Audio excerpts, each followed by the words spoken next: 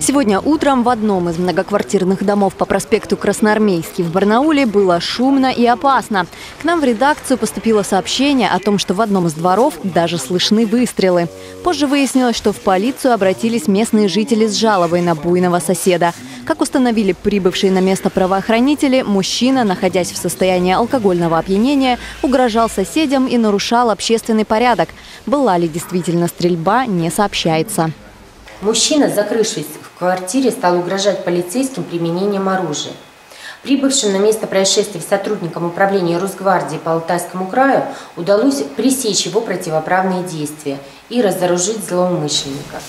В настоящее время 52-летний мужчина задержан, проводится проверка. Следствию предстоит выяснить все обстоятельства происшествия.